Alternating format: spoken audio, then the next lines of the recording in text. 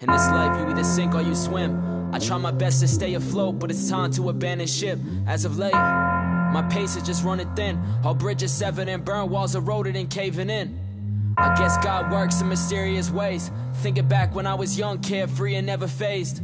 Pops always told me to move on from the past, but it's creeping in the mirror so I don't get attached to the people that I love. Only few that I can trust. I stand up for my beliefs and my blessings, I count them up.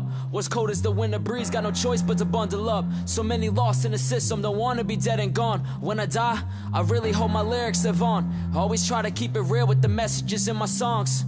It's all good when them spotlights on, but once you set foot off that stage, you never felt so alone. It feels like no matter the line, they always cross it. Paralyzed from the heart down, numb as for all my losses. Finally finding peace with the skeletons in my closet. Even though the storm passed, our clouds hover regardless.